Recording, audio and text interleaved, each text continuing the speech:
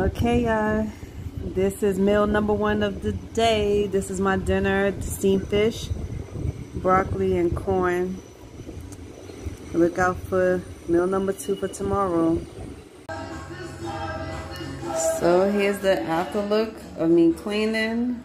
Oh my God. And I end up missing more. So I'm making my chicken sandwich today.